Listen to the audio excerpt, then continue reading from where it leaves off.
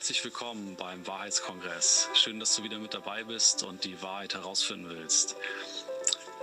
Ich habe heute ein ähm, wieder relativ spontanes Interview mit ähm, einem ganz spannenden Menschen, wieder auch wieder ein sehr besonderer Mensch, der heute da ist. Und ähm, er ist äh, Gesundheits- und Präventionsberater und ähm, ehrenamtlicher Assistent von äh, Next Scientists for Future und dem Weltrat. Ähm, ich begrüße herzlich Don Dylan. Schön, dass Sie da sind, die sich die Zeit genommen haben. Hallo, schönen guten Tag. Ich hoffe, der Ton ist gut. Jo, das läuft. Und es hatte mir auch erzählt, äh, leidenschaftlicher Musiker.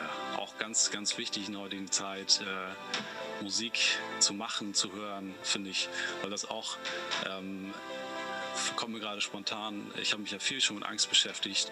Ähm, Musik schaltet ja die Amygdala runter.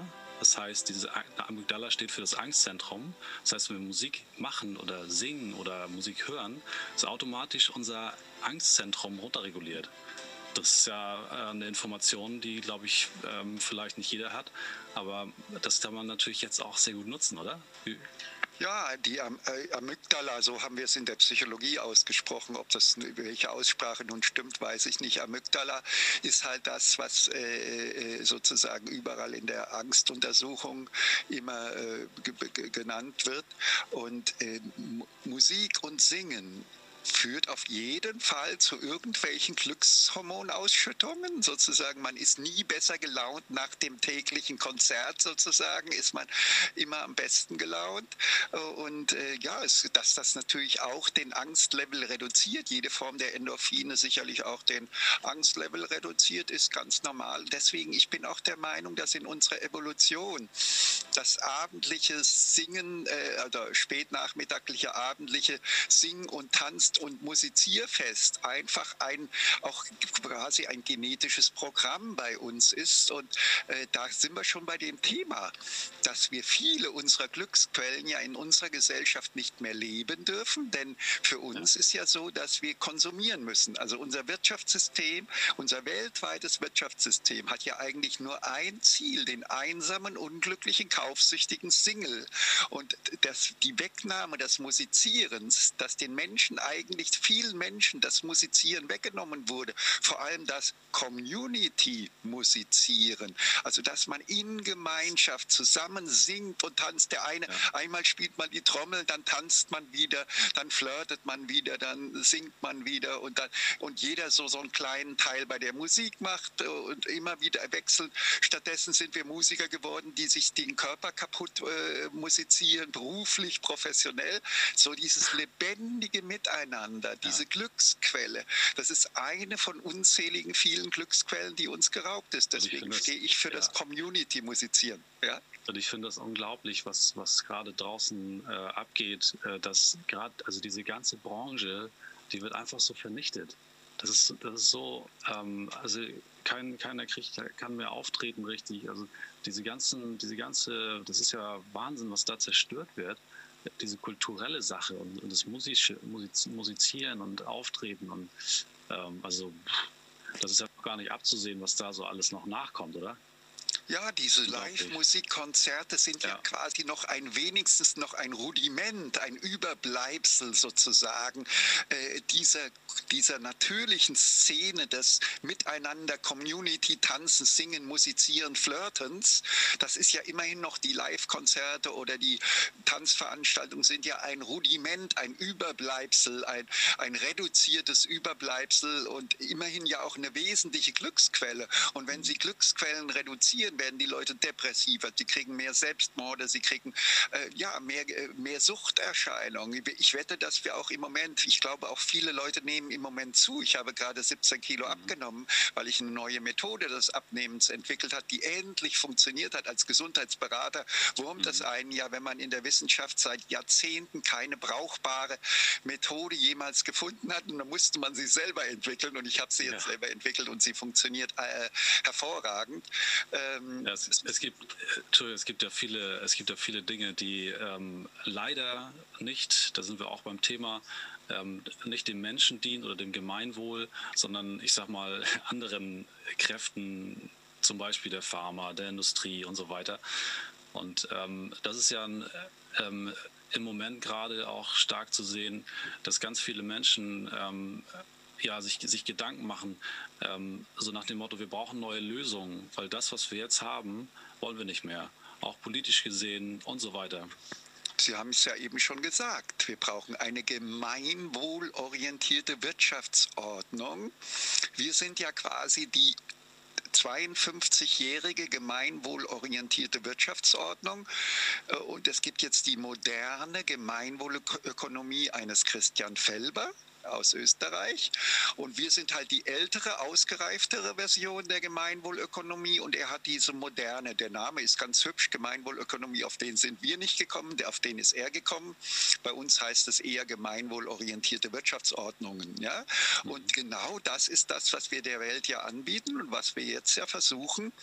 Wir, wir äh, setzen ja im Moment alle unsere Arbeitskraft auf die neue, große, kommende Volkspartei. Wir haben ja im Moment vier Parteien, die sich neu konstelliert haben, die Basis.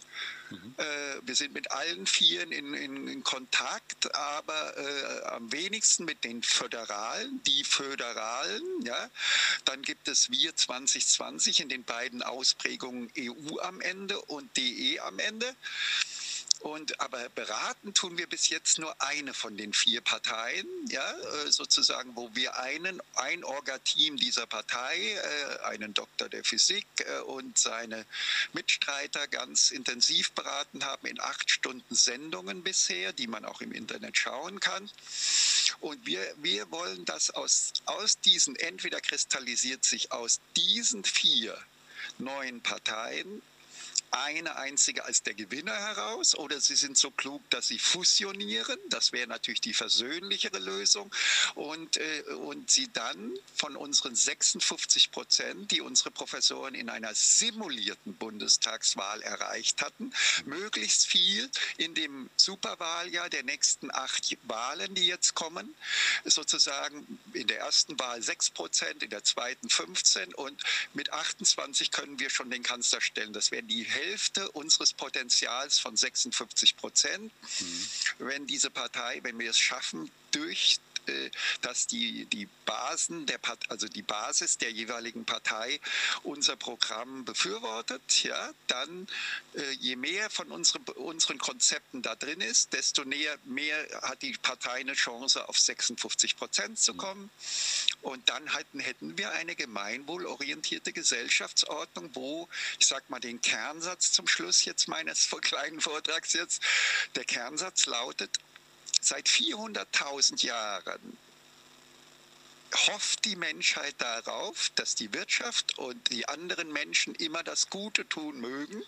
Und wir fordern es moralisch ein. Leute, werdet doch mal gut. Wirtschaft, werde doch mal umweltbewusst. Werde doch mal. Dieses moralische Einfordern bringt überhaupt nichts, weil die wirtschaftlichen Rahmenbedingungen die Wirtschaft dazu zwingen, über Leichen zu gehen. Ja? Mhm. Und deswegen, wir brauchen ein Wirtschaftssystem, in dem das Gutes tun ganz gezielt belohnt wird durch sogenannte positive Anreize aller Art. Mhm. Hm? Mhm. Und dazu müssen wir, um gleich alles zu sagen, auch die vorteilbringenden Irrtümer, die zum Beispiel die Industrien haben. Wir haben ja im Moment zu tun mit dem vorteilbringenden Irrtum, und zwar dem vorteilbringenden Gefährlichkeitsüberschätzungsirrtum bei Corona. Mhm. Damit werden wir ja gerade gebeutelt. Ja, Drosten glaubt wirklich, der sei 50 Mal gefährlicher, als er tatsächlich ist. Ja, ja. Und dieser, diese vorteilbringenden Irrtümer müssen wir aussterben lassen durch positive Anreize.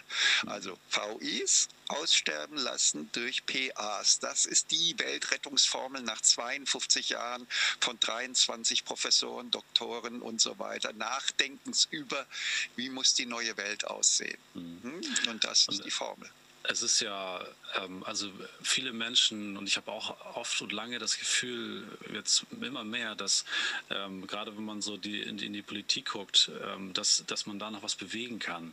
Weil, weil ähm, man hat irgendwie das mittlerweile das Vertrauen verloren. Verstehen Sie? Weil das ist so, ähm, ja, man, man hatte, man, vielleicht ist man früher noch mal wählen gegangen und jetzt macht man sich so Gedanken, irgendwie ist da niemand mehr, den man wählen kann und es braucht halt da auch neue Dinge. Und das, deswegen ähm, äh, will ich dem auch so ein bisschen Gehör schenken und hoffe, dass, dass die Menschen, es geht ja darum, dass, dass die Menschen auch, ähm, ja, ich sag mal, selbst nachdenken und selbst ähm, überlegen, was, was können wir verändern und sich zusammentun, vernetzen und ähm, ja, gemeinschaftlich dann auch ähm, ja, was, was Neues schaffen. Und ähm, wie, ist, wie ist denn so der, äh, das Konzept, wie, wie wollen Sie so diese, diese ähm, ja, Gemeinwohlordnung nach außen bringen? Was haben Sie da vor? Also, erst einmal ganz kurz muss ich Sie bestätigen. Jedes Politiksystem wir haben also auf der Welt bis jetzt noch keine Demokratie, noch nie gehabt. Mhm. Ja, die, wir wollen sie erstmals schaffen. Ja? Denn im Moment unser Politiksystem ist ein Selektionsfilter, der typischerweise kompetente Reformer wegfiltert. Ja? Mhm. Also übrig bleiben immer die, die am wenigsten Reformkompetenz haben. Das ist notwendig so, weil unser Politiksystem ohne, also einfach fehlerhaft ist und dadurch diesen Filter beinhaltet. Ja? Sie werden, sie machen in Parteien nur Karriere, wenn sie sehr, sehr viel Freundschaften bilden, Seilschaften bilden. Mhm. Und dazu brauchen Sie nicht ein kompetenter Reformer zu sein, sondern Sie müssen nur wissen, wie man so mit dem Vitamin B und mit dem Freunde machen und Geschenke machen, vielleicht sogar manchmal nicht ganz legale Vorteilsversprechungen müssen Sie tätigen, um überhaupt nach mhm. oben zu kommen. Anders kommen Sie gar nicht nach oben. Mhm. Und die kompetenten Reformer fallen da immer hinten raus, weil die natürlich mit, ihrer, mit ihren Reformen beschäftigt sind und nicht damit, Allianzen zu schmieden, wie bei der nächsten Vorstandswahl, wer wie gewählt wird. Hm? Ja. Also von daher ist es so, dass Sie selbstverständlich im jetzigen Politiksystem niemanden finden können, der wählbar ist. Das geht mhm. nicht. Ja. Das ist unmöglich. Und deswegen muss es ja diese neue große Volkspartei geben. Und genau genommen bereiten wir diese ja seit 52 Jahren vor ja, mhm. weil wir das Programm dafür entwickelt haben. Ja. Mhm. Nur dürfen wir selbst nicht Mitglied einer Partei werden, weil wir diese Unabhängigkeit äh, garantieren müssen für die Wähler auch, dass, wir, mhm. dass es eine weltweite unabhängige Instanz gibt, die nur für die Bürger da ist und nur für die Menschen da ist. Mhm. Und die Grundidee ist, dass wir jetzt ja gerade beginnen, äh, nächste Woche mit einer Tour durch die Sender. Diese Tour durch die Sender wird, soll genau das bringen. Weg vom Thema Corona Corona, denn das ist ja nur ein Symptom eines kranken Systems, mhm. ja? äh, sondern hin zu dem, wie soll denn Deutschland morgen so aussehen, dass Schweinegrippe und Corona unmöglich werden vom System her. Und das mhm. geht so mit einem Satz gesagt, dass die Ärzteschaft in Zukunft also auch Professor Drosten nur noch und Lauterbach und Wieler nur noch Belohnungen erhalten, also positive Anreize aller Art gesetzt werden, wenn die Bevölkerung immer gesünder wird und immer glücklicher und immer länger lebt und dabei auch noch ein Wirtschaftswunder entsteht, also die Volkswirtschaft auch nicht geschädigt wird.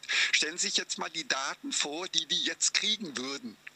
Mhm. Ja, Professor Drosten und Wieler und Lauterbach. Die Daten würden sagen, Wirtschaft ruiniert.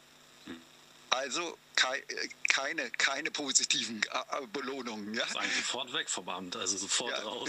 Wirtschaft, Wirtschaft ruiniert als Folge ihrer, ihrer ärztlichen Leistung sozusagen.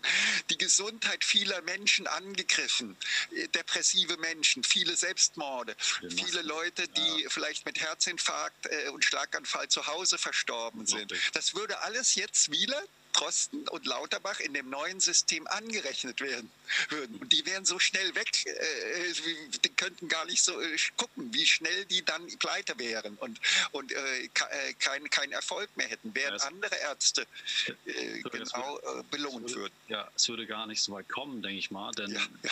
es würde sozusagen ähm, frühzeitig schon ähm, ja, die, die Wahrheit im Prinzip, wenn man so will. Wenn man ja, Wahrheit die Wahrheit, genau. Wahrheit erzählt, beziehungsweise ähm, die, die, ähm, die Fakten oder Wissenschaftler auch, auch die, also viele Stimmen oder kritische Stimmen auch mal gehört, beziehungsweise ähm, nicht gleich abgetan als äh, Quatsch oder das stimmt nicht, sondern die werden einfach auch gehört und äh, an einen Tisch gesetzt und dann wird man äh, wahrscheinlich ähm, da so, so ein ja, Konsens bilden oder so und dann weitergehen. Und dann guckt man, ob das funktioniert und so. Also wie das jetzt läuft, ist ja, dass, dass sie einfach ihr Ding durchziehen, hat man das Gefühl. Trotz der ganzen massiven Kritik machen sie einfach ihr Ding weiter. Ja, ich das kann Ihnen sagen, was durch unsere Reform wirklich passieren würde. Wir als Weltrat würden ganz kostenlos, wir haben ja auch viele Ärzte bei uns dabei, Professoren der Medizin und so weiter, wir hätten Drosten, Wieler und Lauterbach also informiert über ihre vorteilbringenden Irrtümer, nämlich dass generell dieses Überschätzen von den kleinen Dingern, von den winzigen Dingern, denn Viren sind ja eigentlich kein richtiges Leben. Ne? Sagen wir einfach mal winzige Dinger, Bakterien, Viren, Pilze, was es auch immer so gibt, dass die Teil unseres Lebens sind, dass die Teil unseres Körpers seit von Abermillionen von Jahren sind, seit Milliarden Jahren genau genommen. Und dass, da, dass das keine Killer sind, sondern dass die Killer sind giftige Nahrung, giftiges Wasser und giftige Luft in unseren Wohnungen, die ganzen Wohngifte, die ganzen, äh, alle künstlichen Geräte sondern Gifte ab. Ich glaube sogar jeder Computer sondert Gifte ab, weswegen ich immer rund um die Uhr das Fenster offen habe, mhm. weil ich dann wenigstens nur noch die giftige Stadtluft habe, ja, und nicht die giftige Technikluft und so weiter. Oder wenn Sie ins Auto steigen, Sie haben laute Autogifte, Sie atmen ständig Gifte ein. Nicht nur die Abgase des Vordermanns, sie atmen auch die Gifte ihres Autos ein, die das absondert, regelmäßig absondert und so weiter. Also Prof. Dr. Med Reuter hatte uns daran nochmal so richtig erinnert mit TH, äh, der uns ganz klar gesagt hat, dass unser Gesundheitssystem Menschen tötet und immer mehr tötet, sodass jetzt auch anfängt, unsere Lebenserwartung rück, rückläufig zu werden, wie es in den USA schon geschehen ist und äh, auch in Japan geschehen ist und so weiter, dass unser, unser Wirtschaftssystem uns immer früher jetzt wieder tötet, sozusagen. Das heißt also, es würde folgendermaßen ablaufen. Unsere Professoren würden eben der gesamten Ärzteschaft kostenlos sagen, was sind die zentralen vorteilbringenden Irrtümer ihrer Zunft, die sie sofort aufgeben müssen, wenn sie im neuen System, wo nur noch Gesundheitsförderung und Krankheitsverhinderung belohnt wird, dann durch ein Gesundheitsförderungskursangebot weiterhin erfolgreich sein wollen und weiterhin gut verdienen wollen, dann müssen sie sich total umstellen oder sie gehen pleite, weil sie dann zum Beispiel in ihrer, wo wohnen Sie zufällig, in welcher Stadt? Ich komme aus Schleswig-Holstein. Ja, in Schleswig-Holstein würde dann also sozusagen eine Rangliste aller schleswig-holsteinischen Ärzte und jetzt einer bestimmten Stadt, Kiel oder was auch immer zum Beispiel, da wohnt, glaube ich, Professor Bakti und Dr. Köhnlein, da würde in Kiel eine Rangliste aller Ärzte existieren, die jeder Bürger ständig transparent vor Augen hätte, wenn er im Umkreis einen äh, Hausarzt sucht und dann ist, wird ihm da einer angeboten, der steht in der Rangliste auf der Position 3, der andere auf der Position Position 70 und der andere Position äh, 200. Und was meinen Sie, wie viel noch zu dem auf der Ranglistenposition 200 gehen? Das ist nämlich der mit der schlechtesten äh, Gesundheitsförderungswirkung äh, nachgewiesenermaßen im Bereich Kiel. Mhm. Zu dem wird niemand mehr gehen. Die werden ja. alle weggehen von ihm, wollen von ihm. Und dadurch würden alle weggehen von Drosten, Wieler und Lauterbach. Es, es sei denn, sie ändern ihre Denke und verlassen den vorteilbringenden Irrtum. Übrigens muss ich das noch einführen. Wissenschaftlich können Sie das googeln unter parasitäre Meme. Mhm. Der parasitäre Meme. Äh, Killerviren des Geistes ist so ein umgangssprachlicher Begriff. Viren des Geistes, Killerviren des Geistes oder vorteilbringende Irrtümer ist so die deutsche Formulierung. Also solche Killerviren des Geistes, die ja jetzt im Moment die ganze Welt ruinieren, ja, die müssen wir aussterben lassen durch positive Anreize. Und unser Gesundheitssystem, egal wie wir das technisch machen, wir haben fünf Varianten im Kopf, äh, äh, wie das dann gewünscht ist, führt dazu, dass es das Phänomen Drosten, Wieler und Lauterbach gar nicht gegeben hätte, sondern dass Bhakti, Wodak und Schiffmann eher sowieso mehr gehört worden wären, weil das sind ja die nachdenklichen Ärzte, die auch ihr eigenes System in Frage stellen. Denn was ja. macht Dr. Wodak als linker SPDler äh, und was macht ein äh, Professor Bhakti? Er stellt die Leichtfertigkeit seiner eigenen profitorientierten Zunft ja letztendlich in Frage. Ja. Also Impfungen verkaufen mal auf die Schnelle. Nee, geht doch nicht, kann man doch nicht seriös machen, sagt Professor Bakti, ja? Und so weiter. Aber die Industrie braucht das Geld und will das Geld. Ne? Und, äh, äh und wir als die linke, evolutionsbiologische, bodenständige, realistische, vernünftige, naturwissenschaftliche, echte Linke, äh, gehen dann natürlich mit dem linken SPDler Dr. Woda konform. Wenn wir Pharmaindustrie hören, müssen wir sofort denken, Vorsicht, sich, das ist, ist im Rahmen des jetzigen Wirtschaftssystems eine ganz gefährliche Industrie, die wir erst, der wir erstmal kein einziges Wort glauben dürfen. Ja. weil die natürlich das redet, was Profit bringt. Ja? Mhm. Und wir müssen, brauchen eine Gesundheitsreform, in der die Pharmaindustrie nur dann Verdienstzuschüsse noch bekommt und ein Pharmakonzern nur dann überleben kann, wenn die Gesundheit der Bevölkerung und die Lebensqualität, die Gesundheit, das Wohlfühlen und die Langlebigkeit und das Wirtschaftswunder in Deutschland eher nach oben geht, während bis jetzt ja die pharmazeutische Industrie darauf hinwirken muss, um zu überleben, dass es den Menschen eigentlich immer schlechter geht, sie immer tablettensüchtiger werden, immer kränker werden und immer kürzer leben und immer, dass die Wirtschaft immer mehr geschädigt wird, weil die Wirtschaft am Ende nur noch der Pharmaindustrie dient. Ja. Die Preise für, es gibt ja so Preise für neue Medikamente, die gehen so in die 300.000 für eine Dosis oder so ungefähr, ne? Unglaublich. Ja, ähm, man hat ja, also früher habe ich immer gedacht, dass, dass die, dass die, ähm, ich sag mal so, das Gesundheitssystem schon natürlich auch, ähm, wie, das, wie der Name schon sagt, der Gesundheit dient. Aber es ist letztendlich ein. Ich darf mal lachen, ja? Ja, totaler Trugschluss, denn äh, man muss einfach, und das ist auch, auch, das zieht sich auch einfach durch diesen Kongress durch, äh, man muss einfach ähm, auch um das Selbst zu erkennen, das geht auch, finde ich, immer darum, das Selbst zu erkennen, muss man einfach immer tiefer auch Einblick haben in, in, diese, man muss sich sozusagen selber diesen Weg, also man muss wirklich diese, sich diese Arbeit machen und tiefer reinblicken. Was ist da los? Ähm, stimmt das eigentlich, was die sagen? Ähm, dient mir das eigentlich als, als Mensch, meinem, meinem, meinem Wohl, meiner Familie, meinem Umfeld? Oder ähm, also sozusagen, man muss im Prinzip ja, muss heutzutage wirklich alles in Frage stellen, oder? Allerdings, äh, man muss äh, äh, total in Frage stellen, äh, weil wir haben keine gemeinwohlorientierte Wirtschaft. Das mhm. kann nur diese neue Volkspartei etablieren. Ja? Und auch nur, wenn sie klug genug ist, auf uns zu hören. Wir haben ja noch andere externe Berater vorgeschlagen, die Gemeinwohlökonomie hinzuzuziehen. Wir wollen ja eben keine Einseitigkeit. Mhm. Wir haben vorgeschlagen, Economy for Mankind und Lösungen Punkt jetzt hinzuzuziehen. Wir haben äh, vorgeschlagen, Vertreter des bedingungslosen Grundeinkommens hinzuzuziehen und vielleicht noch ein, zwei andere Experten, die die Parteien selbst vorschlagen, ja, und damit wir da sowas haben wie Drosten, Wieler, Lauterbach versus Bhakti Bodak Schiffmann, also sozusagen sechs verschiedene Seiten hören, ja. Und dann, äh, wenn die Partei dann klug ist und die Basis der jeweiligen Parteien klug ist und sich für unsere Reformen teilweise oder überwiegend entscheidet, dann kriegen wir einen neuen Kurs. Ansonsten ist es so, dass aus wirtschaftlichen Zwängen in einem nicht gemeinwohlorientierten Wirtschaftssystem zwangsläufig die Pharmaindustrie gegen die Gesundheit der Bevölkerung arbeiten muss, weil sie ja lebt von tablettensüchtigen, ja. tablettenabhängigen Men Menschen, die möglichst chronisch krank bleiben müssen, damit immer weiter verkauft werden kann. Ja? Und das ist ohne böse Absicht. Das heißt also, wir gehen davon aus, dass es überall natürlich Kriminelle, wir müssen ja immer die Brücke schließen, sozusagen, wo haben die Verschwörungstheoretiker recht und wo irren sie sich sozusagen.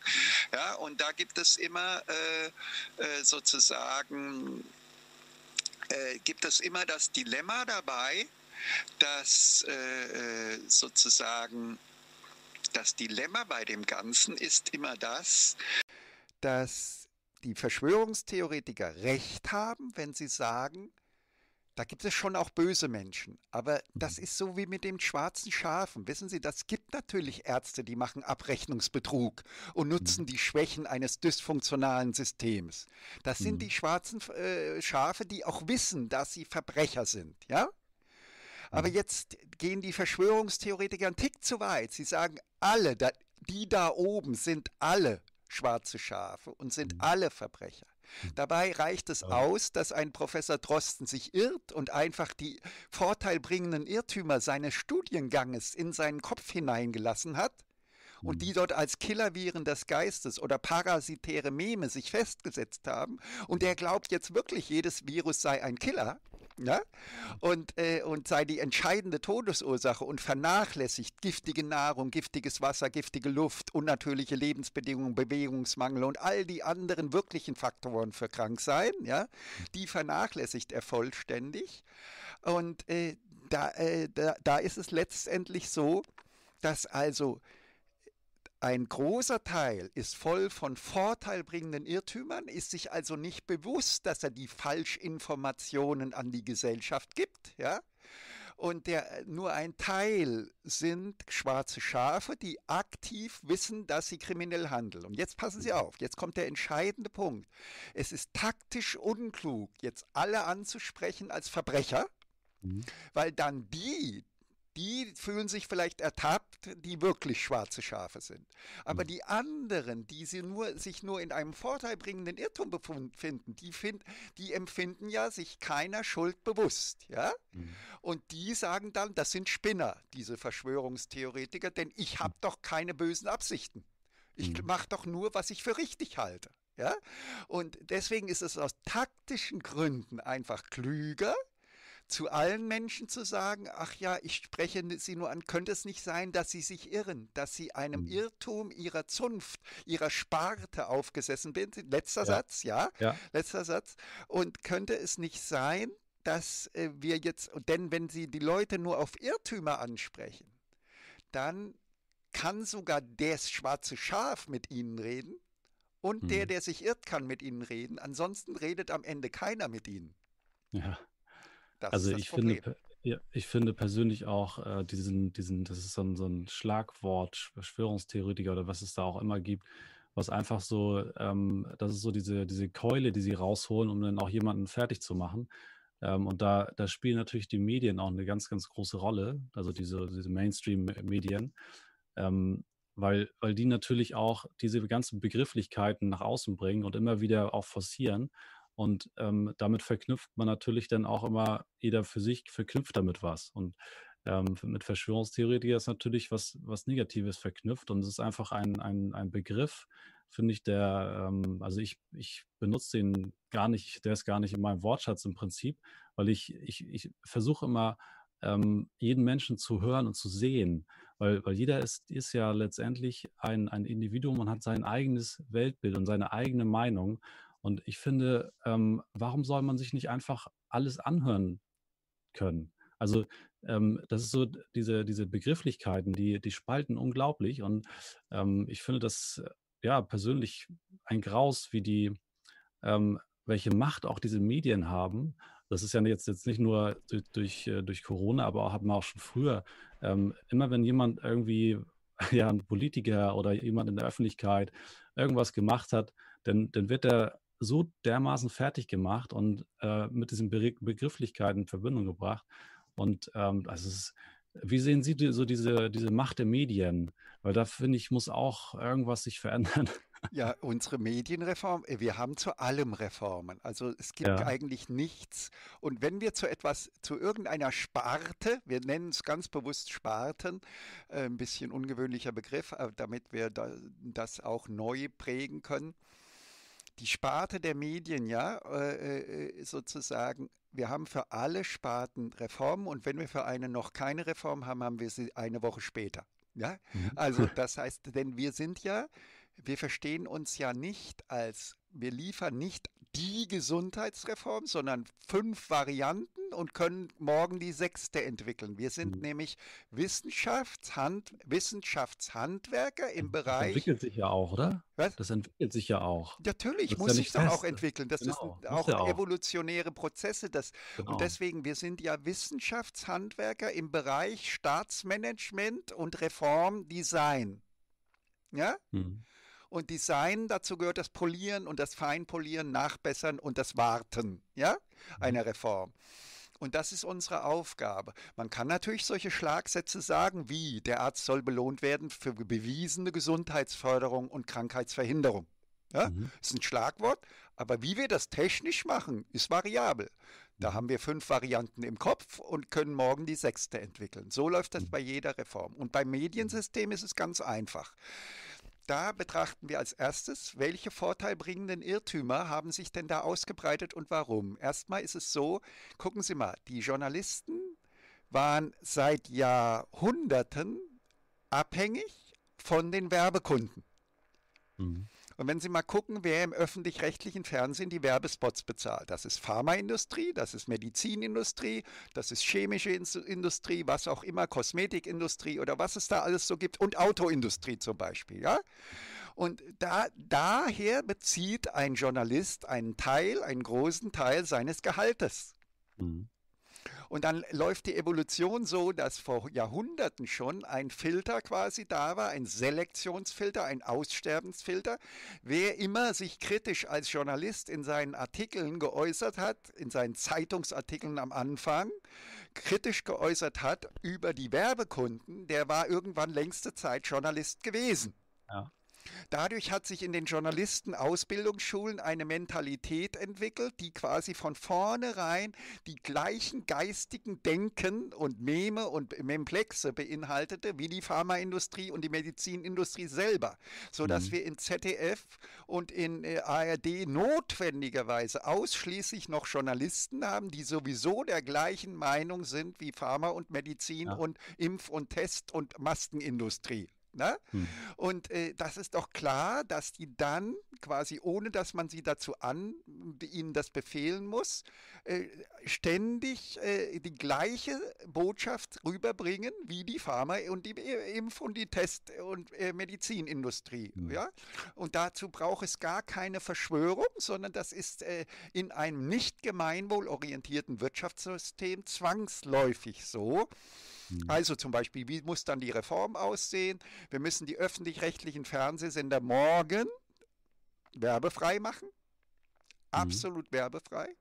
Wir müssen vielleicht die ganzen Gebühren sollten wir wegstreichen und das Ganze staatsfinanzieren. Mhm. Wir müssen aber die, äh, die Rundfunkräte wegnehmen, also die, mhm. die, die politische Beeinflussung durch Parteien wegnehmen, mhm. sodass das kein Staatsfunk mehr ist. Mhm. Und dann müssen wir es, äh, eine Gleichheit herstellen. Äh, äh, es kommen neue Journalisten in ZDF und ARD rein, die dann aber 50 Prozent der Stimmmacht haben. Und mhm. die vertreten eher die, genau das. Alle, man untersucht alle Werbekunden, die es gab für die äh, öffentlich-rechtlichen Sender. Und genau die schärfsten Kritiker unter den Journalisten, zum Beispiel die Hersteller von äh, kennen Sie das Profiteure der Angst von Arte? Mhm. Ja, kennen Sie die Sendung? Mhm. Und genau diese Journalisten werden dann Mitarbeiter in ZDF und ARD und kriegen 50 Prozent der Stimm, Stimmkraft, sodass dann jede Sendung ausgewogen wird. Immer mhm. pro und contra, immer pro und contra. Und dann mhm. werden noch solche Sendungen eingerichtet wie Demokratie pur, wo die Zuschauer quasi Leute mit neuen Reformideen hochwählen können im Rahmen einer Sendung. So am Anfang drei, jeder, jeder drei, eine Minute, dann jeder drei Minuten, dann der Gewinner am Ende neun Minuten und so weiter. Also echte Demokratie im öffentlich-rechtlichen Fernsehen und so weiter. Das und, wäre die Reform ja. des, der öffentlich-rechtlichen Medien und dann hätten wir plötzlich ausgewogene Medien. Mhm. Das Problem ist ja auch ein riesengroßes Problem, dass ähm, gerade wenn man sich über gewisse Wahrheiten ähm, mit Wahrheiten beschäftigt, die da sind, aber die einfach ständig unterdrückt werden. Es gibt ja, es gibt Technologien, die werden unterdrückt, es gibt Wissen, was unterdrückt wird, es gibt, ähm, es gibt Menschen, die, ja, was wir jetzt auch erleben mit, mit Wodak und so weiter, wo das Bhakti, die, die einfach eine Meinung äh, sich gemacht haben, die nach außen getragen haben und die werden einfach äh, auf YouTube und ihre Seiten werden gelöscht. Also diese, diese Zensur ist so stark und ähm, da, da sind ja anscheinend im Hintergrund so, so starke Kräfte, die das, die das sozusagen ähm, ins Leben rufen. Und ähm, ja, es ist natürlich eine riesengroße Aufgabe, glaube ich, ähm, diese Kräfte dann auch ähm, ja, auszulöschen im Prinzip dass diese, diese dunklen Kräfte, die da im Hintergrund, was auch immer das was ist, ähm, äh, ich sag mal, ja, so reformiert werden können, dass wieder, wieder freie Meinung gesagt werden darf und dass, dass auch wieder freie Journalisten da, da kommen können und so weiter. Ja, da sprechen Sie einen ganz wichtigen Punkt an. Der ist mir auch sehr wichtig, weil da ist einer der größten Irrtümer in der ganzen Wahrheitsszene drin. Mhm. Der Gedanke, dass wir wirklich starke Zensur hätten. Wir haben das mhm. selbst überprüft. Bei uns wurden vier Sendungen insgesamt gelöscht mhm. von 700. Mhm. Obwohl wir ständig diese Gesellschaft ja ununterbrochen als Naturwissenschaftler und evolutionsbiologische bodenständige Linke kritisieren aufs Schärfste. Ja? Mhm. Warum wurden diese vier Sendungen gelöscht? Wir stellten fest, dass wir immer ein verbotenes Wort in der Sendung hatten. Ja? Mhm. Äh, das heißt, wenn man sich mal im Freundeskreis kann man das machen, dass man mal scharfe Worte benutzt. Aber ich mache mhm. mal jetzt so ein Beispiel. Nehmen wir mal an, jetzt würde jemand sagen, Sie würden jetzt sagen, irgendwie, Frau Merkel ist doch kriminell. Mhm. Allein dieses Wort kriminell in Verbindung mit, mit Frau Merkel ist eine verbotene Äußerung in Deutschland. Sie dürfen das nicht sagen. Sie dürfen jetzt zur Polizei gehen. Sie dürfen eine Strafanzeige stellen gegen Frau Merkel. Sie dürfen die Staatsanwaltschaft auffordern, das zu untersuchen. Aber sie dürfen keine Vorverurteilung tätigen. Äh, und sie dürfen, äh, wir haben ein Menschenrecht auf Unschuldsvermutung in mhm. unserer Welt. Und äh, wenn, wenn man ein so ein Reizwort sagt, gibt mhm. es immer einen, der die alles kritisch beobachtet und Dr. Wodak hat viele Feinde. Die beobachten seine Homepage und wenn sie ein problematisches Wort finden, wird das sofort gelöscht, weil die Betreiber nicht anders können. Denn jeder haftet, also auch unser Sender, seitdem wir dann diese Reizworte nie wieder gesagt haben, wurde nie wieder eine Sendung gelöscht. Ja. Also deswegen so mein Hinweis an alle, äh, wenn, Sie, wenn Sie mit der Wortwahl streng im legalen Bereich bleiben, passiert gar nichts. Aber wer, also das, das, äh, das, da kann ich nicht mitgehen, weil äh, wer entscheidet denn, welche Wortwahl richtig ist und, und falsch ist? Also da, das ist ja, das ist ja schon wieder dann, ähm, ich kann mir, ich kann ja dann nicht meine freie Meinung äußern, Nein. wenn ich sage, Angela Merkel ist kriminell. Nein, also, wir haben in Deutschland sowieso erstens, äh, das war ein Riesenmissverständnis, die Formulierung mhm. Recht auf freie Meinungsäußerung. Haben wir gar nicht, haben wir nie gehabt. Mhm. Wir haben nur immer gehabt ein Recht auf freie Argumente, Äußerung. Mhm. Und zwar Äußerung sachlicher, logischer, wissenschaftlicher Argumente. Alles, mhm. was wir so als Meinung betrachten, so, ach, ich finde den blöd, das, mhm. ist, das wird so als Meinung heute verstanden. Das war mhm. aber nie gemeint mit dem Recht auf freie Meinungsäußerung. Es war immer nur Recht auf freie Argumenteäußerung. Und äh, Argument heißt, ich ha äh, habe das Argument, dass Herr Drosten sich irrt, weil in seiner Ausbildung sich im Studiengang Medizin sich seit Jahrhunderten und Jahrtausenden vorteilbringende Irrtümer angehäuft haben müssen, weil jeder vorteilbringende Irrtum eben Profit für die Medizinbranche ja. gebracht hat und deswegen sich Irrtümer akkumulieren mussten zwangsläufig mhm. und wir deswegen wissen, dass die Medizin eine Pseudowissenschaft sein muss, die voll sein muss von lauter Unwahrheiten, mhm. vorteilbringenden Irrtümern Unternehmern, die Geld bringen, bares Geld bringen und dass deswegen man Herrn Drosten kein Wort glauben sollte, wenn er redet, weil er ein unkritischer Vertreter dieses Mainstreams der Medizin ist, die fast ausschließlich aus Unwahrheiten besteht. Ja, und das wäre ein Argument. Verstehen ja. Sie? Das ist ein Argument, ja, das dürfen ich, Sie sagen. Das, ich verstehe das auch, ähm, aber trotzdem läuft da, also aus meiner Sicht läuft das so daneben, weil ähm, die also es ist ja, es sind ja auch, ich sag mal, ganz normale Sätze, die man sagt schon, äh, die ja auch schon zensiert und gelöscht werden. Das ist ja nicht nur, dass das es irgendwelche. Ein, das ist, äh, äh, äh, da darf ich, das ist so wichtig, ja? das Thema. Das ist meiner Stimmt, Erfahrung nach ein Irrtum. Zum okay. Beispiel gerade zuletzt wurde ein Video, das das Zeug gehabt hätte, eine Million Klicks zu erreichen. Ein mhm. Interview von Epoch Times mit Dr. Rainer Füllmich von den Corona, vom Corona-Ausschuss und der Partei Die Basis. Mhm. Dieses Interview, äh, diese eine Million Klicks wären sehr wichtig gewesen für dieses mhm. Video. Das wurde gelöscht und ich sage Ihnen, wie das abläuft. Das wird nicht von YouTube gelöscht. Das wird gelöscht, weil jemand, der diesen Dr. Füllmich hasst wie die Pest, mhm. sich dieses Video anschaut und guckt nach einem einzigen Wort. Und ich habe allein sieben Reizwörter gefunden, die man nicht sagen darf in Deutschland, die man am Stammtisch sagen darf, die mhm. man unter Freunden, auch unter Rechtsanwälten untereinander sagen darf. Aber nicht vor einer Million Menschen, weil dann mhm. immer einer zuschaut, der Böses will und der die Sache beschädigen möchte, die Grundsache beschädigen möchte und der sich mhm. dann über ein Reizwort aufhängt, dieses Reizwort YouTube meldet und die können dann nicht anders als zu löschen. Weil sie ja mhm. dann finden, das Reizwort ist tatsächlich enthalten. Und zum Beispiel, ich sage Ihnen mal so Dinge wie er, äh, so äh, Hampelmänner, glaube ich, hat er gesagt. Allein dieses Wort reicht schon zu einer Löschung. Oder äh, so Worte wie, wie, ja. äh, äh wie äh, dummes Zeug, hat er dreimal gesagt in der Sendung. Ja. Allein einmal dummes Zeug reicht, um zu löschen. Ja? Äh, und äh, äh, äh, denn das ist ja, hat ja beleidigende Aspekte. Ne? Und, und sie, er darf nur sagen, Professor Drosten irrt sich und wir werden das Gericht bitten zu prüfen, ob er auch in strafrechtlich relevanter Weise Kenntnis hatte von seinem Irrtum und trotzdem diese, diesen Irrtum weitergerichtet hat. Dann würde er nämlich strafrechtlich verurteilt werden. Schadensersatzpflichtig kann er vielleicht schon wegen geringerer Dinge sein, nämlich dass er seine Sorgfaltspflicht vielleicht nicht genügend nachgekommen ist. Mhm. Aber was ist bitte schön eine Sorgfaltspflicht im Rahmen eines Gesundheitssystems, das sowieso nur aus Irrtümern besteht? Ja. Wo ist da die Sorgfaltspflicht? Ja. Ne? Wie ja, wollen also, Sie das also, nachweisen? Ne?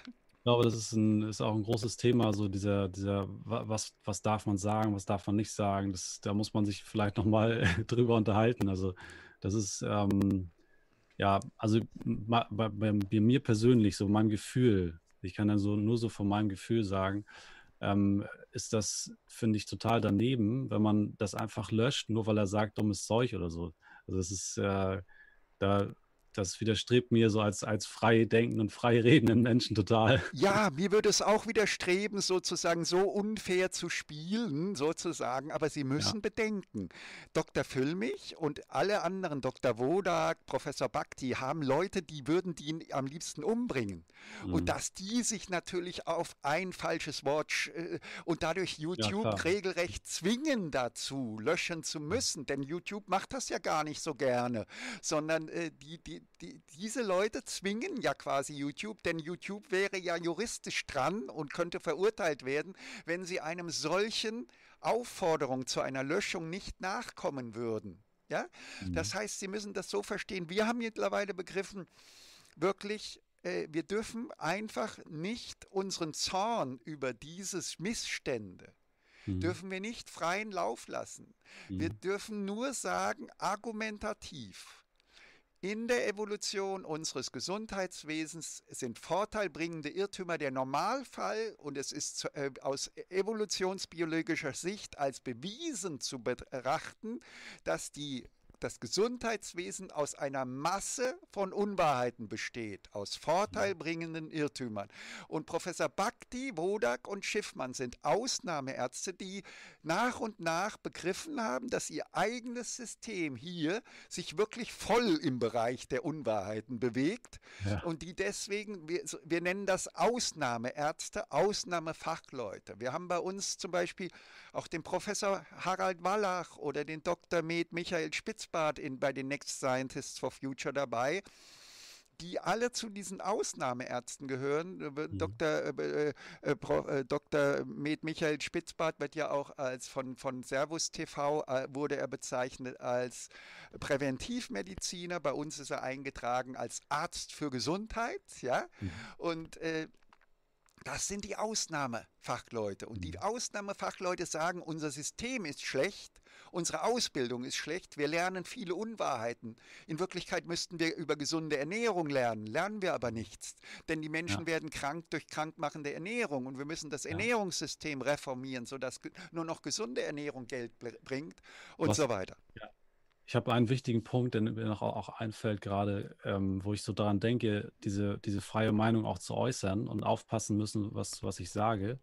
Wenn ich, ähm, ich sag mal, ja, im Frieden bin mit mir, dann, dann, dann rede ich ja ganz anders oder, oder rede ja über Dinge und Menschen auch ganz anders, als wenn ich in, in einer, einer Wut, in einer Angst und so weiter bin. Verstehen Sie?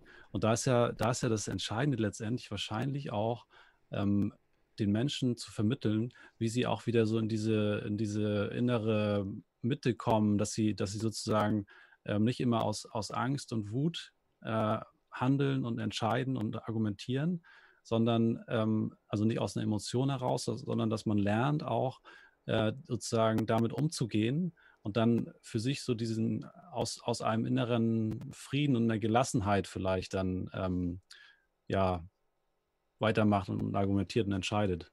Das ist, glaube ich, ganz wichtig. Ja, Sie wirken ja so ruhig, dass Sie im Moment wohl auch gar nicht dazu neigen würden, jemanden zu beleidigen, ja? Mhm. Aber äh, äh manchmal regt man sich halt wirklich darüber ja, auf klar. und Dr. Schiffmann regt sich schrecklich auf und schießt dann übers Ziel hinaus, weil man dann so aufgeregt ist, weil ist man. Aber ja. wir sind übrigens schon abgestumpft. Wir sind jetzt ja schon 52 Jahre sehen wir, dass dieses System uns tötet und dass dieses System Leben ruiniert, Lebensfreude ruiniert und Glück. Aber nehmen wir als Beispiel Beispiel gestern diesen Bundestagsskandal.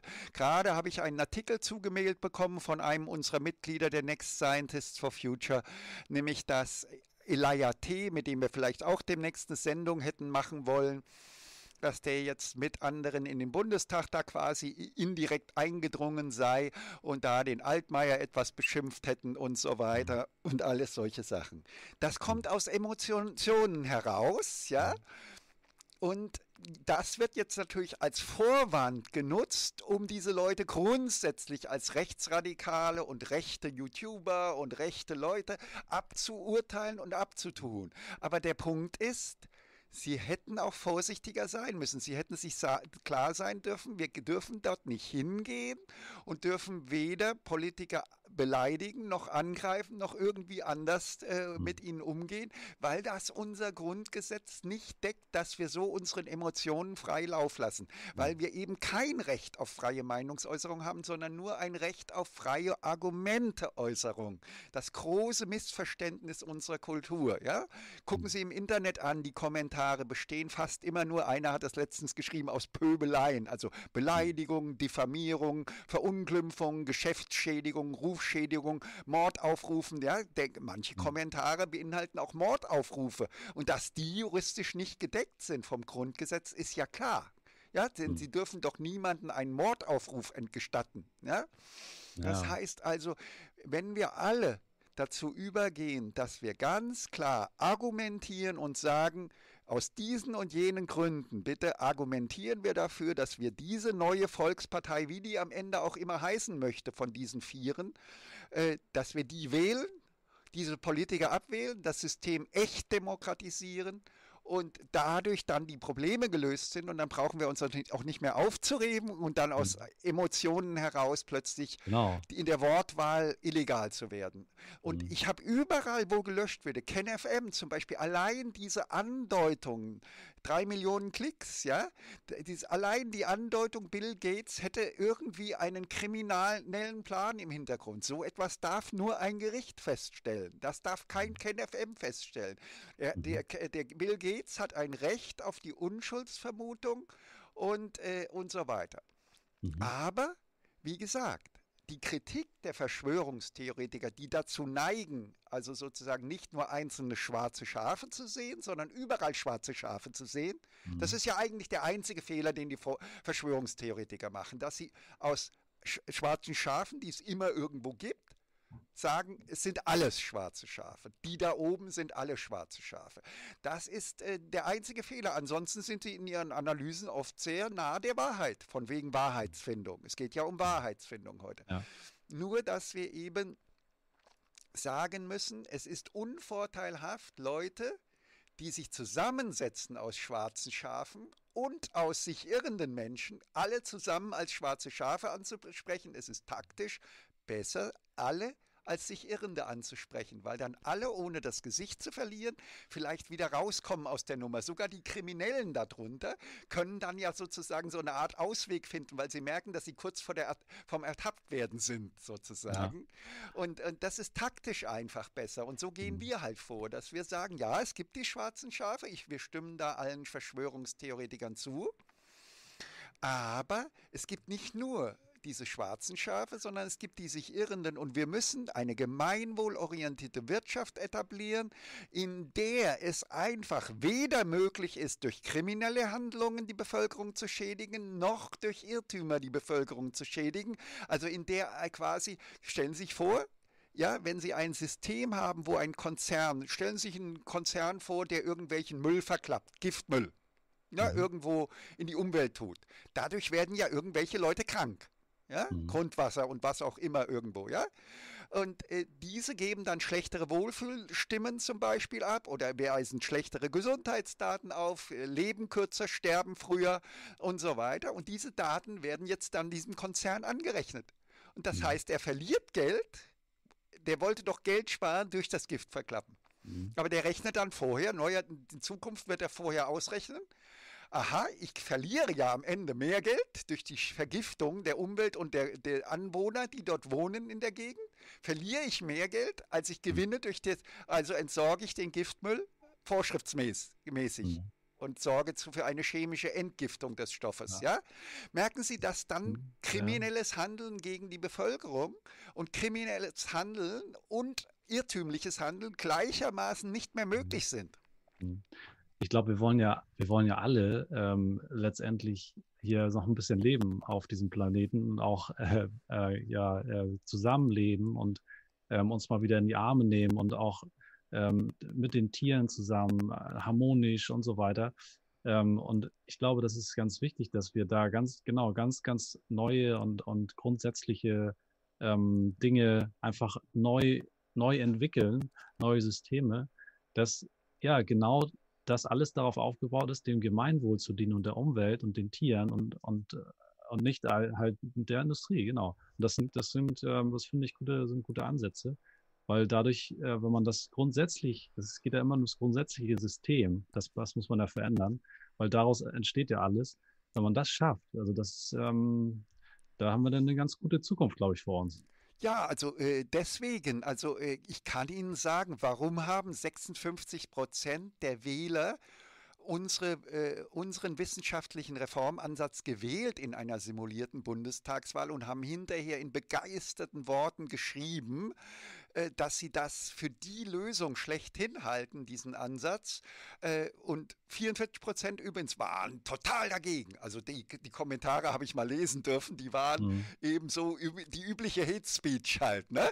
Mhm. Aber 56 Prozent begeisterte ja, mhm. das, äh, warum? Weil sie genau erkannt haben, dass diese 23 Professoren in, in 52 Jahren ein Wunderwerk geschaffen haben. Sie haben übrigens eben ein Reizwort gesagt, das ich natürlich jetzt auch äh, gleich nutzen kann, um auch wieder ein bisschen provokativ zu sein. Mhm.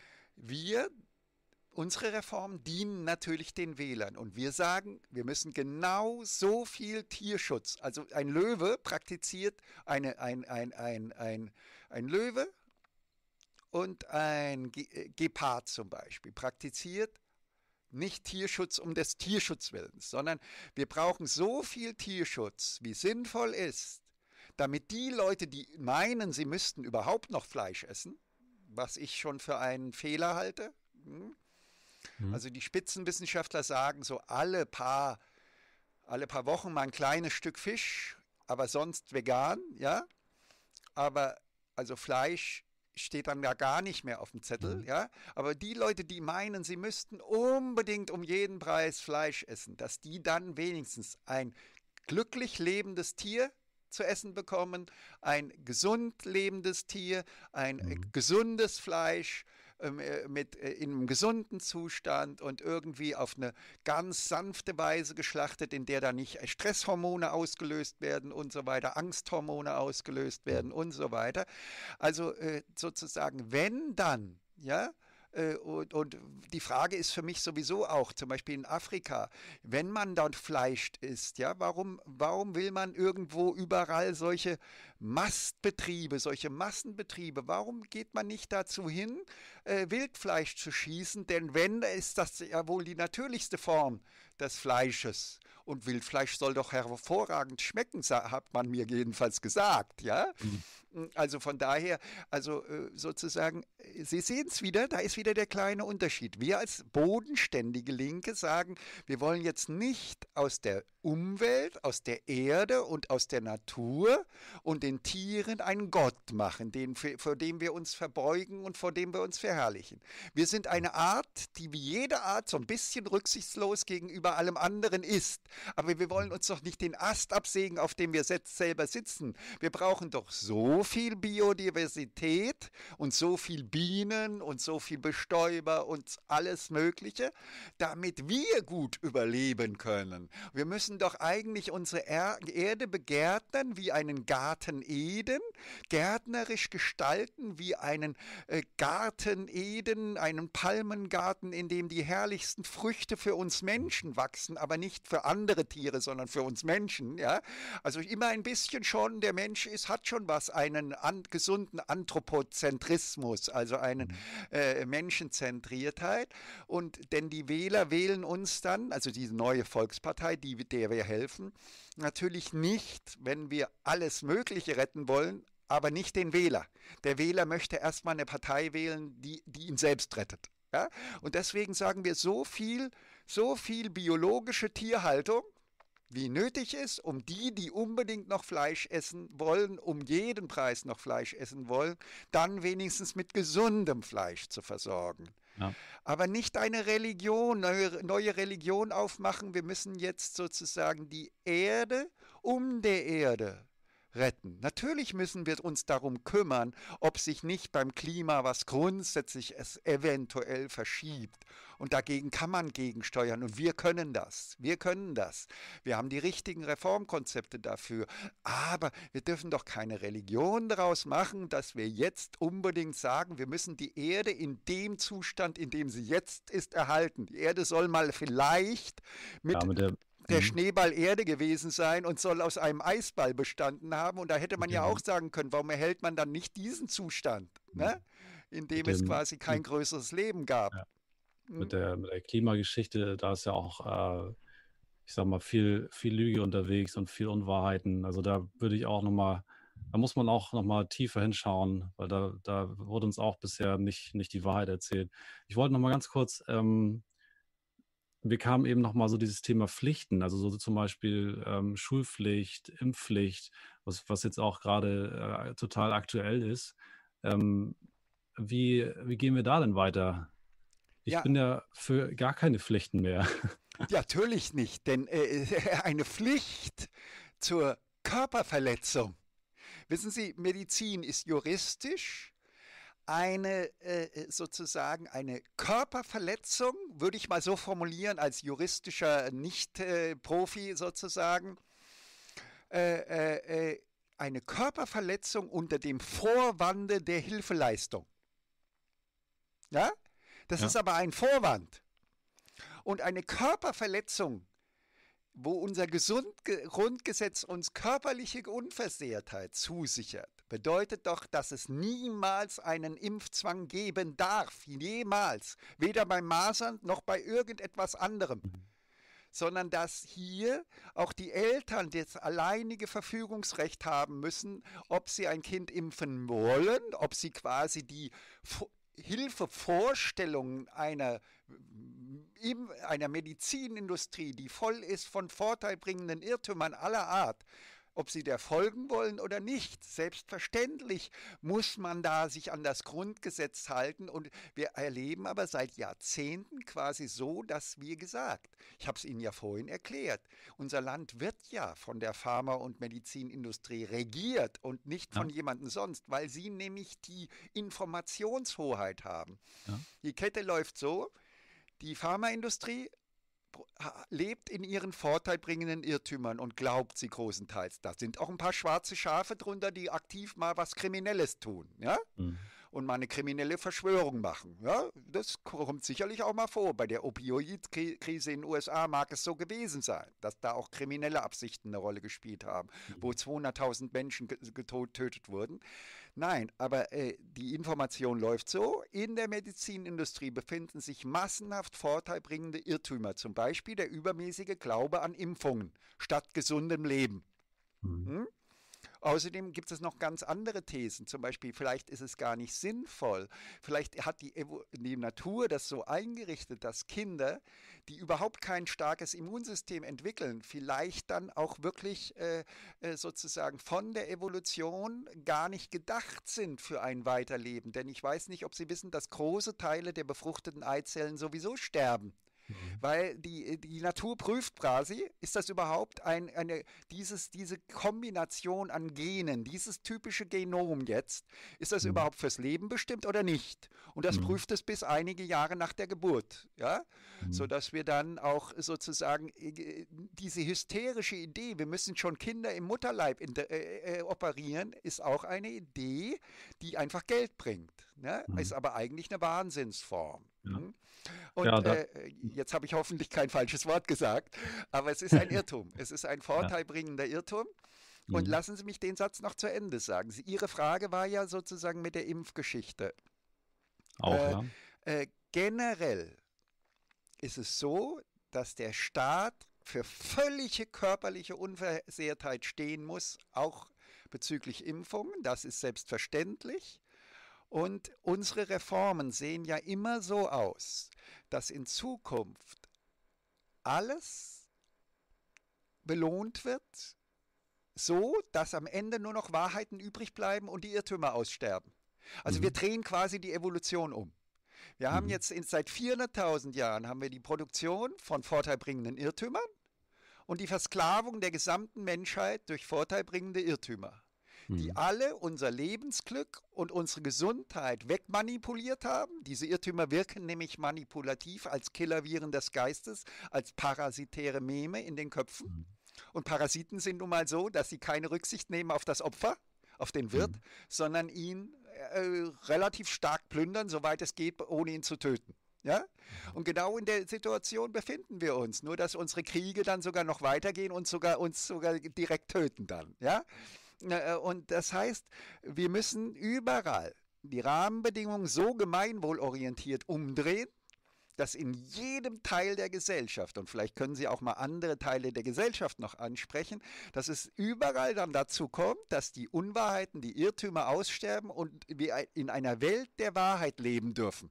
In mhm. einer Welt der Wahrheit wo es immer noch äh, äh sozusagen Lebensherausforderungen geben wird, Herausforderungen geben ah. wird, dass irgendwann dieser Planet kaputt geht, dieses Sonnensystem kaputt geht, wir irgendwann ein anderes Universum äh, brauchen, vielleicht wechseln müssen in ein anderes Universum, Weiß wenn die Menschheit nicht. überleben sollte ja. und so weiter. Wir haben Herausforderungen überall, aber im Moment steht an, erstmal die Erde sauber zu machen äh, die, äh, die Umwelt zu entgiften, alles zu entgiften, gesunde Nahrung, gesundes Wasser, oh, gesunde Körper, Luft, ja, gesunde, genau. den Körper zu entgiften, mhm. äh, Bewegung und Natur, musizieren, tanzen, singen äh, und so weiter. Und das mhm. geht bei uns über die sogenannten Haushaltsgesundheitskommunen, sodass der Arzt ja in Zukunft nur noch gut Geld verdient, wenn er ein kostenloses Feierabendangebot für alle Versicherten anbietet, wo die hingehen, um zu tanzen, zu singen und zu musizieren mhm. und über gesunde Ernährung alles zu lernen und alles mhm. über Gesundheit zu lernen und zu praktizieren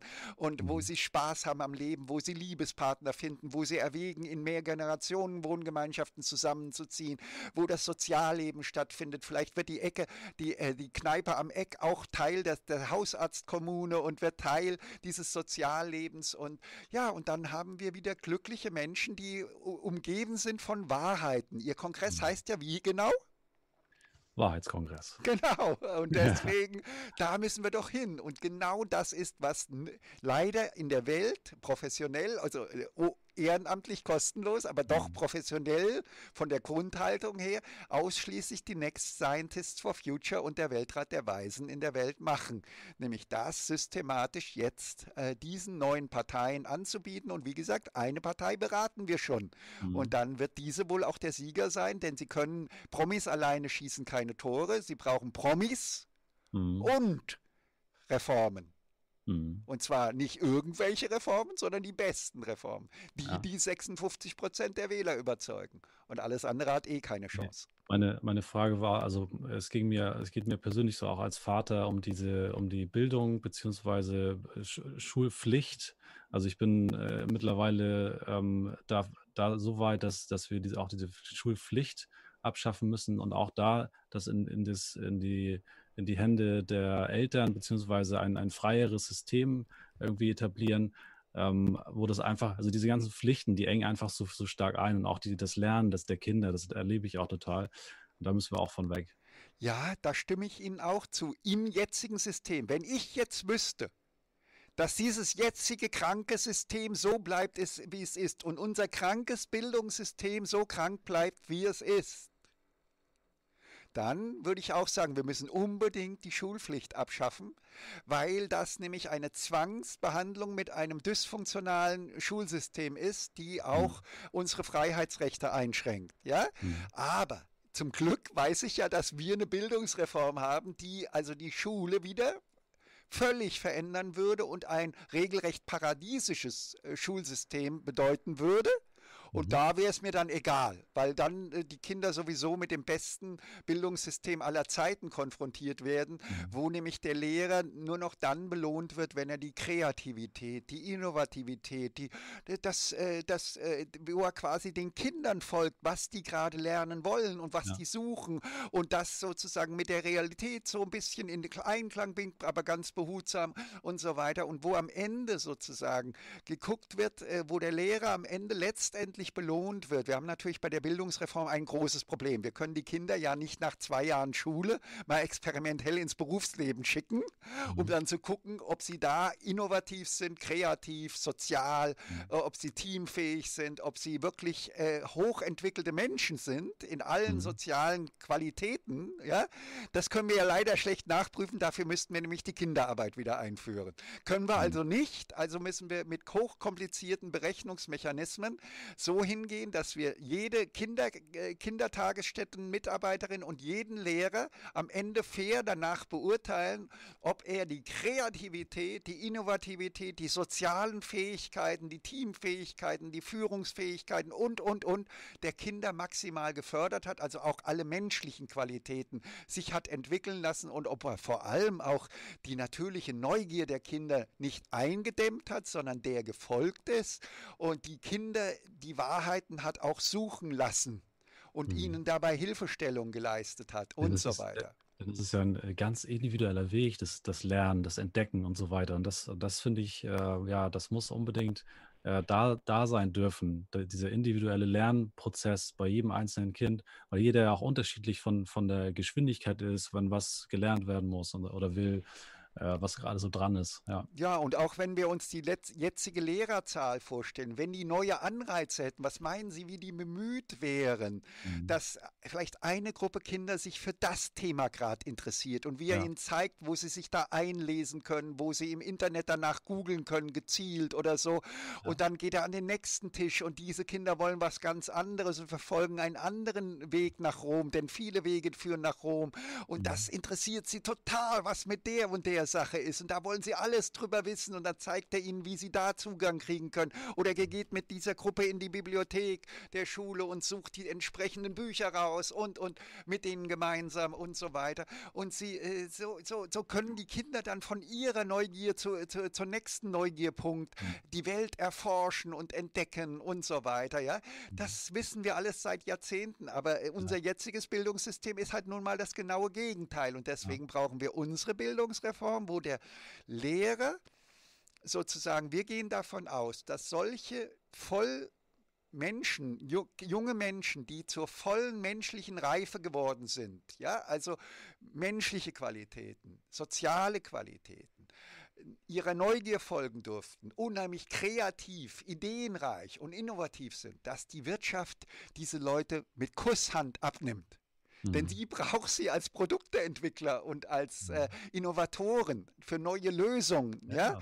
Und mhm. denen wird sie ein gutes Anfangsgehalt zahlen. Und dann wird mhm. dieses Anfangsgehalt und die späteren Gehälter werden rückgekoppelt ja. und werden zu einer vorgezogenen Mütterrente an die Mütter ausgeschüttet, damit die endlich mal geschützt sind, damit die Mütter eben nicht mehr wie bis jetzt die Stiefkinder der Nation sind, sondern die kriegen eine vorgezogene Mütterrente und die Lehrer kriegen eben entsprechende Verdienstzuschüsse und Ranglistenpositionen entsprechend dem, was die faktorenanalytischen Analysen der Statistiker ergeben haben, welcher Lehrer hatte eine bremsende Wirkung und welcher hatte eine fördernde Wirkung. Welche Kita-Mitarbeiterin hatte schon im Kleinkinderbereich eine fördernde Wirkung Wirkung und eine entwicklungsfördernde Wirkung und wer hatte eher eine entwicklungshemmende Wirkung.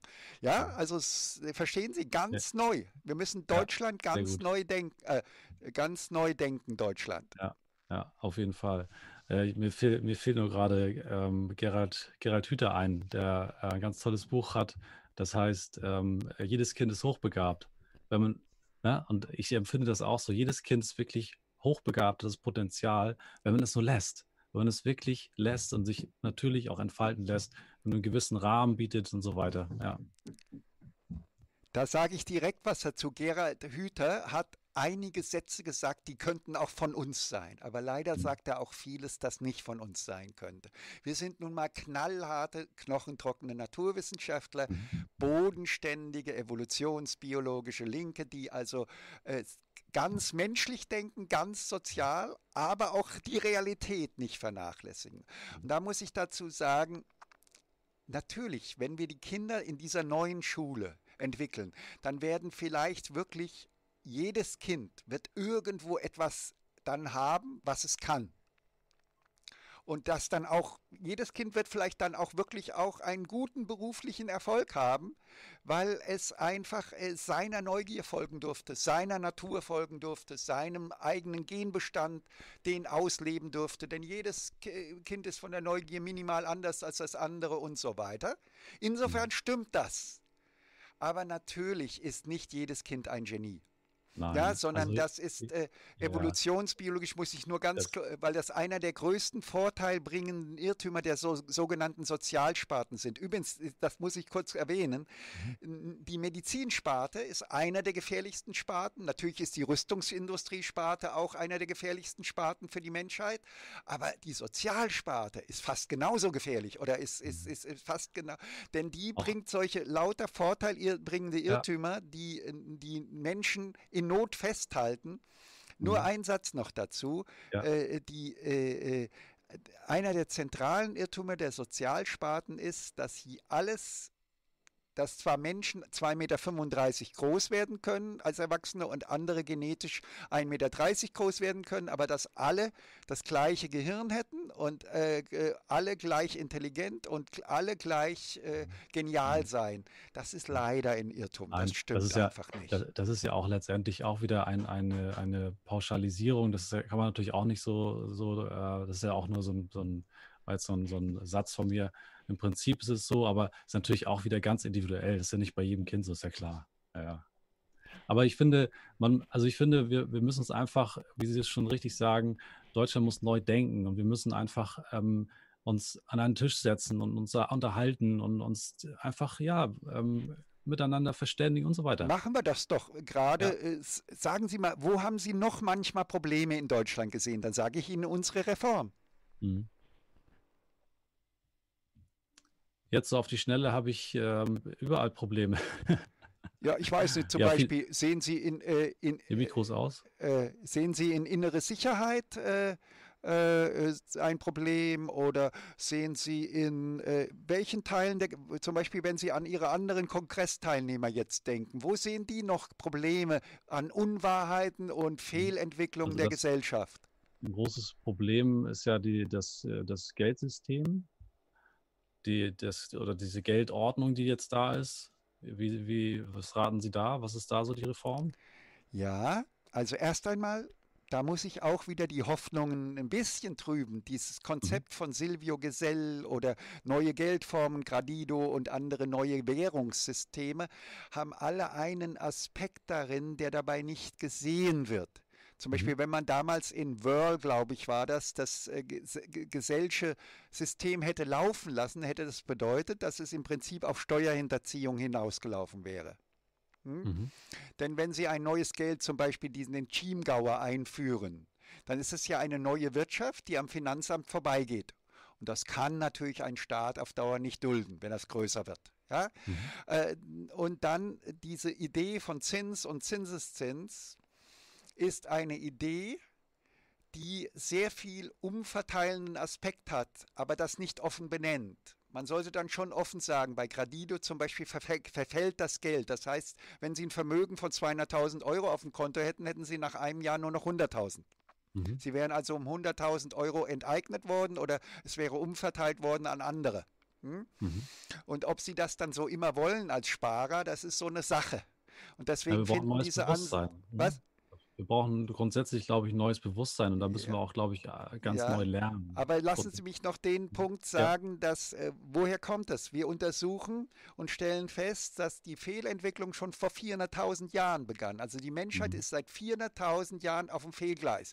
Während wir, gehen wir hin und analysieren eine Löwengruppe oder eine Bonobo-Gruppe oder eine Schimpansengruppe oder eine Gorilla-Gruppe, dann stellen wir fest, die sind auf dem Gleis. Die, bei denen läuft die Evolution so, wie sie immer läuft. Mhm. Aber vor 400.000 Jahren haben wir dieses Gleis verlassen.